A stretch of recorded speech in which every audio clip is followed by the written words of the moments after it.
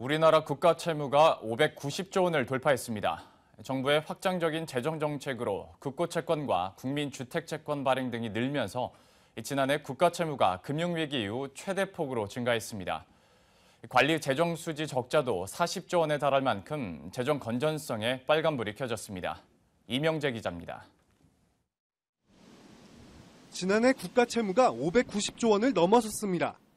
기획재정부의 2015 회계년도 국가결산 결과를 보면 중앙정부와 지방정부 채무를 합한 국가 채무는 총 590조 5천억 원, 1년 새 57조 3천억 원이 증가했습니다. 금융위기 이후 최대 폭으로 늘어난 겁니다. 지난해 국가 채무 증가율도 전년 대비 10.7%로 지난 2009년 이후 가장 높은 수치를 기록했습니다. 정부가 지난해 추경 예산 편성을 하면서 국고 채권을 전년보다 46조 원 더 발행했고 주택 분양에 따른 국민주택 채권도 6조 원 더 늘어났기 때문입니다.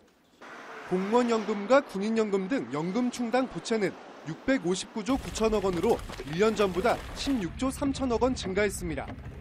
GDP 대비 국가 채무 비율은 37.9%로 지난 2014년 35.9%와 비교했을 때 2.0%포인트 증가했습니다. 정부가 확장적 재정 정책을 집행하면서 재정 수지도 악화됐습니다. 지난해 관리 재정 수지는 38조 원 적자로 1년 전에 비해 8조 4천억 원 늘어나며 적자 폭이 확대됐습니다. 지난 2008년 15조 원 적자를 기록한 이후 7년째 적자가 꾸준히 커지고 있어 재정 건전성 악화가 심각한 상황입니다. 그럼에도 기재부는 우리나라의 국가 채무 규모가 OECD 국가보다 상대적으로 낮고 증가 속도도 낮아 양호한 수준이라고 자평하고 있습니다. 경기도 살려야 하고 갈수록 비어가는 나라 곳간도 채워야 하는 등 두 마리 토끼를 잡아야 하는 기획재정부의 고민이 깊어지고 있습니다.